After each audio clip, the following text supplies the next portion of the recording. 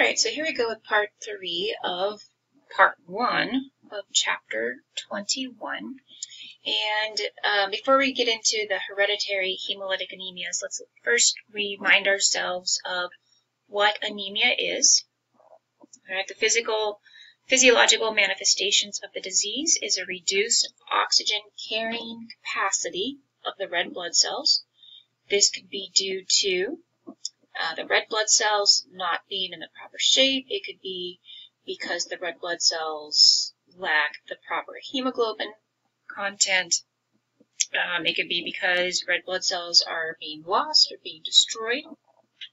And the clinical symptoms of anemia are going to be fatigue, weakness, dyspnea, and pallor because of the lack of oxygen getting to your tissues. So, with hereditary hemolytic anemia, there are four major categories. These type of anemias are going to be genetically determined, all right, and therefore hereditary. So you can have abnormally shaped cells, you can have abnormal hemoglobins, defective hemoglobin synthesis, and then red cell enzyme deficiencies.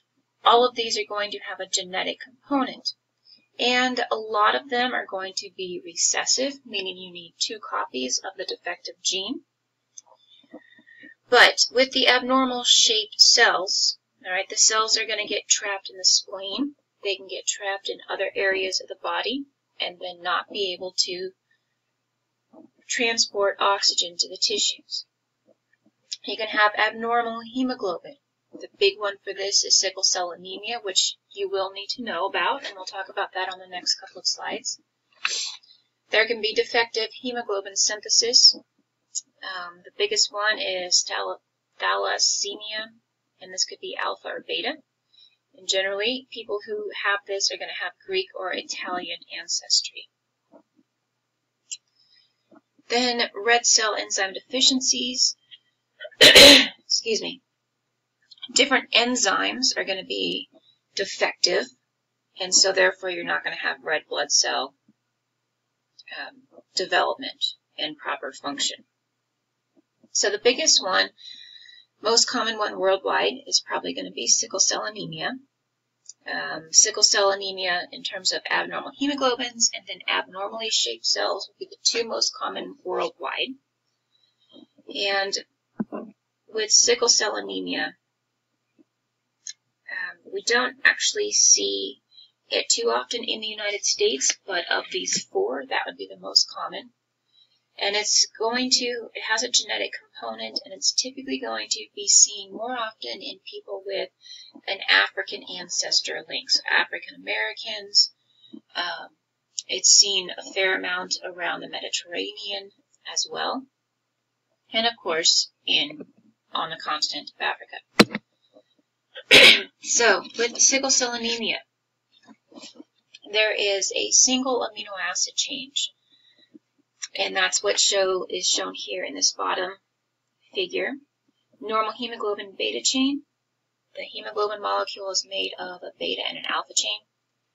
And there should be a glutamic acid, but because of a point mutation in the DNA code, it creates a conversion from glutamic acid into a valine. And this is very important for proper folding of the hemoglobin. So the red blood cell does not have the proper shape as a result of the improper folding of the hemoglobin. Um, this condition actually makes people resistant to malaria. If you recall from micro, the organism Plasmodium is going to infect red blood cells.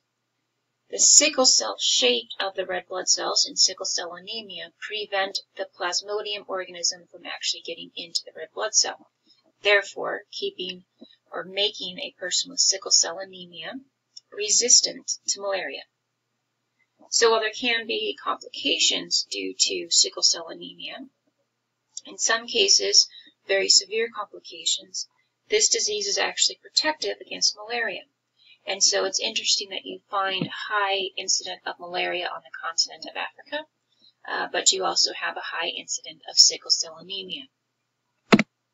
All right, so then the last slide of this part of chapter 21 is just looking at diagnostic evaluation of anemia. Uh, you don't have anything in your notes because it's pretty um, straightforward in terms of what is right here on the slide.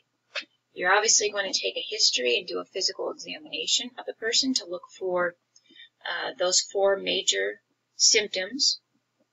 You can look at a complete blood count, look at a blood smear to actually look at the physical characteristics of the red blood cells. You can do a reticulocyte count. All right, down here you've got that same figure of looking at the progression of red blood cell development. The reticulocyte count, all right, what happens if the factory is damaged? Then the red blood cells are not going to leave the bone marrow. And so you would have low numbers of reticulocyte. You can do a bone marrow study. Again, if you're worried, the physician is worried that the bone marrow, the factory, is the issue, you can take a biopsy or do a bone marrow study.